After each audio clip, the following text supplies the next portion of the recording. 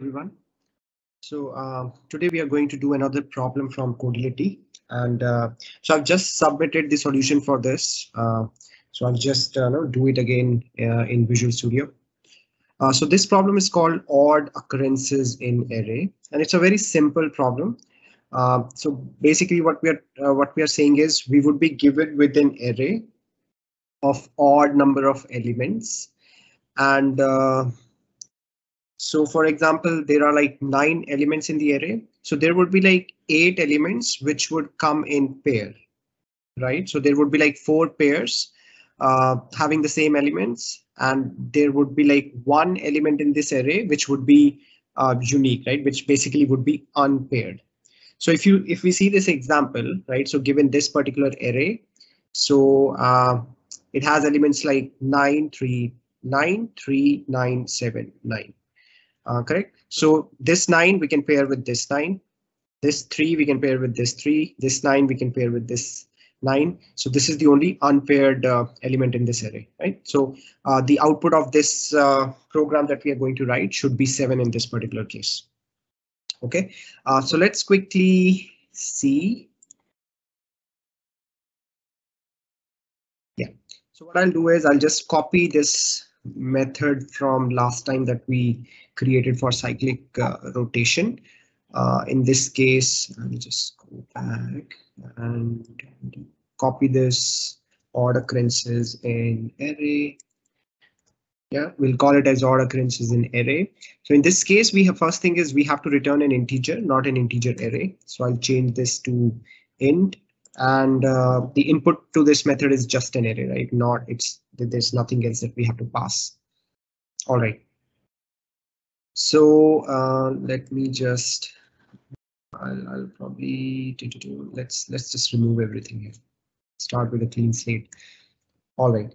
So first thing is uh, I'll just quickly validate uh, that okay if a dot length e uh, sorry greater than one then only we have to find that particular uh, thing. Otherwise, if it's one, it could be one, right? And in the problem, they have mentioned that it's a non-empty array. So we can assume that it's the length would be like at least one, right? So in case if its length is not greater than one, in that case, it should be one. Then what we have to return is the only element in the array, right? That would be the zeroth element in the array. All right, so this is sorted. Now, in order to calculate the uh, so there's one concept uh, i mean it's a it's a bit bit operator. It's called xor this, this is something that we need to understand. Uh, so what happens is if you if you actually do an xor uh, let's just show you the documentation probably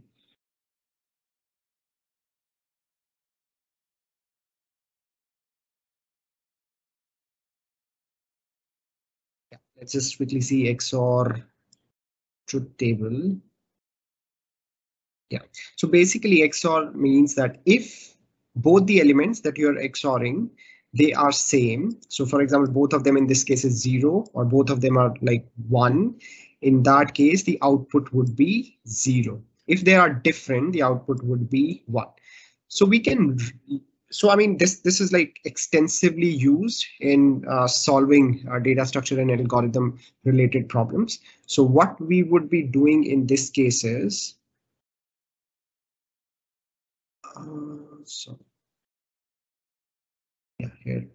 So I would be XORing all the elements of the array, right? What would happen is now this XOR, this XOR becomes zero, this XOR, this XOR becomes zero, this XOR, this XOR becomes zero, and then zero XOR this thing would actually give us this, this value, right? So the simplest solution to this problem is just XORing all the elements in this array and then return the value after the XORing, right?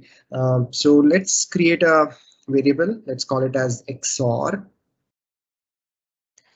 Actually, created inside because if length is not greater than one, we don't even need to do uh, even declare this variable, right? So int xor equals to uh, probably I'll say the first element, and let's just do a loop. So i equals to uh, zero is fine. So I'll do a dot length i plus plus. I'll actually start with one because XOR already has zeroth element, right? And then what we can do is XOR equals to uh, XOR, and the XOR operator is this operator, uh, right?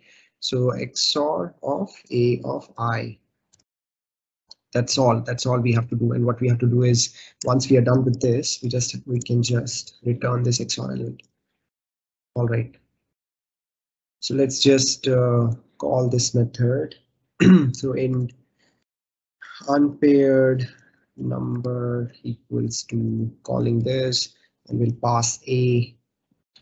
Uh, and this array let's do one thing. So 256 i'll call it as 2 and this I'll say six. So in this case, if we pass this element to this array uh, uh, program method, uh, in this case, it should return five, right? All right, let's, I think it looks okay to me, but let's quickly debug and see what's going on. So it ran for this array and unpaired element is five. Okay, I think seems to be uh, correct and let's try another thing. Um, let's say we also have it for five and we will put uh, another seven. In this case, the answer should be seven. Right? Hmm. Okay. So I think that's all that we had to do to solve this problem. Uh, let's uh, see. Yeah. Okay. I think that's that should be all for today. Thank you for watching and I'll see you guys in the next video.